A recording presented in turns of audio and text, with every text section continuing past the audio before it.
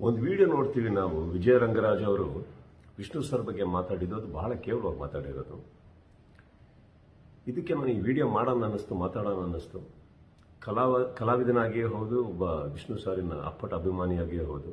ಇಲ್ಲ, ಎಲ್ಲ ಅಭಿಮಾನಿಗಳ ಪರವಾಗಿ ಮಾತಾಡ್ತಾ ಇದ್ದೀನಿ ಅನ್ಕೊಳ್ಳೋಣ ಪರವಾಗಿಲ್ಲ.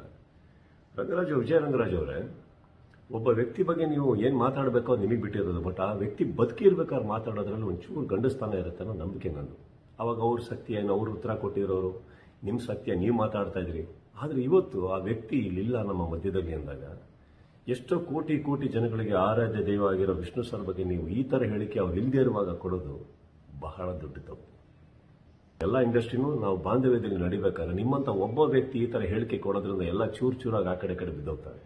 ಕನ್ನಡ ಚಿತ್ರರಂಗದಿಂದ ಇನ್ನೊಂದು ಹೇಳಬೇಕು ಅಂತಂದ್ರೆ ನಾನು, ನಿಮ್ಮ ಎಲ್ಲ ನಾವು ಬೇರೆ ಇಂಡಸ್ಟ್ರಿ ಅಂತ ಅನ್ಕೊಂಡೇ ಇಲ್ಲ. ಎಲ್ಲ ಹಿರಿಯರಿಗೆ ನಾವು ಗೌರವ ಕೊಡೋ ಟೈಮಲ್ಲಿ ನಿಮ್ಮ ಇಂಡಸ್ಟ್ರಿಯಲ್ಲೂ ನಾವು ಎಲ್ಲರಿಗೂ ಗೌರವ ಕೊಟ್ಟು ಪ್ರೀತಿ ಕೊಡೋ ಟೈಮಲ್ಲಿ ನೀವು ನಮ್ಮ ಒಬ್ಬರ ಹಿರಿಯ ಕಲಾವಿದರಿಗೆ ಈ ಥರ ಅವಮಾನವಾಗಿ ಮಾತಾಡೋದು, ನನ್ನ ಪ್ರಕಾರ ನಿಮ್ಮ ಇಂಡಸ್ಟ್ರಿಯಲ್ಲೇ ಯಾರು ಇದನ್ನ ಒಪ್ಪಲ್ಲ.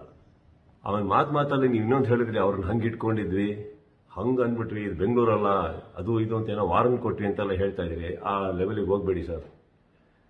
ಅವ್ರು ಇವತ್ತು ಇಲ್ದಲೇ ಇರ್ಬೋದು. ಎಲ್ಲರೂ ಇದ್ದೀವಿ ನಾವು. ಆ ಲೆವೆಲಿಗೆ ಹೋಗೋದು ಬೇಡ. ಯಾಕಂತಂದ್ರೆ ಇಂಡಸ್ಟ್ರಿ ಇವತ್ತು ಎಲ್ಲರೂ ಚೆನ್ನಾಗಿದ್ದೀವಿ. ನಿಮ್ಮೊಬ್ಬರಿಂದ ಮತ್ತೆ ಹಾಳಾಗೋದು ಬೇಡ. ಆ್ಯಂಡ್ ವಾರ್ನಿಂಗಿಗೆಲ್ಲ ಎಳಿಬೇಡಿ. ಇಲ್ಲಿ ಯಾರು ಕೈಗಾಗದೇ ಇರೋದಿಲ್ಲ ಸರ್ ವಿಷ್ಣು ಸರ್ ಇದ್ದಲ್ಲೇ ಇರ್ಬೋದು ಸರ್ ಕೋಟಿ ಕೋಟಿ ಕೋಟಿ ಮಕ್ಕಳನ್ನ ಬಿಟ್ಟೋಗಿದ್ದಾರೆ. ಎಲ್ಲರನ್ನೂ ಬಿಟ್ಟೋಗಿದ್ದಾರೆ. ಎಲ್ಲರೂ ಇದ್ದೀವಿ ನಾವು. ವಾರ್ನಿಂಗ್ ಬೇಡಿ. ಆ ಮಾತು ನೀವೇನು ಮಾತಾಡಿದ್ರಿ ಅದನ್ನು ವಾಪಸ್ ತಗೊಳ್ಳಿ. ದಯವಿಟ್ಟು.